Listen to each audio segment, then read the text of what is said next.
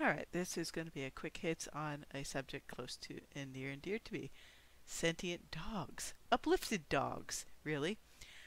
And first up is What's Bred in the Bone, X Canine Bones Trilogy Book 1. She also does have another short story within the same universe, but it's pretty much a police procedural meets uplifted canine specialized units meets a bit of like space opera in there. So that really did catch my eye because again, uh, uplifted doggos and whatnot is very, very underfed genre. At least in terms of adding some science fiction to it. And then for number two on this list, we have here, give me one moment. Bruce bringing it up. Here we go.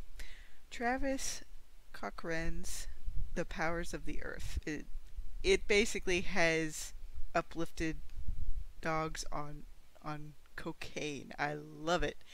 That and it's also a way to do politics into a story without beating the reader over the head with it. So you can't go wrong.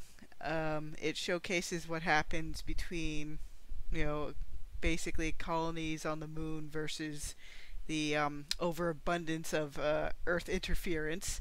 So if that's your sort of thing, I'd say pick that up too. And let's see if I can find one more gem about these dogs. Give me one moment. And yeah, I'd say the, the next one would have to be Dean Koontz's Watchers. I know it's not a science fiction bent book, but it, still it showcases a pretty on the point you know near uplifted dog and it was one of the first things that I encountered with a dog as kind of a, of a, a really important character.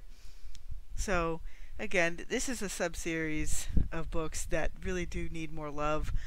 I'll also link my blog post about some other various canine, uplifted canine stuff I was able to find. But those three series slash books are what really stands out to me so far in the wider range of things. I'll put all the links to everything below.